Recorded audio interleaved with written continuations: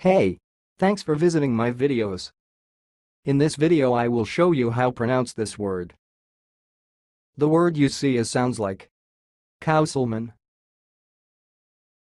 Councilman So I will repeat again, but a little bit slower. Councilman Councilman That's all, thanks for listening. If you liked this video, please subscribe to my channel. If you want to share your opinion, please leave comment for this video. Thanks and goodbye.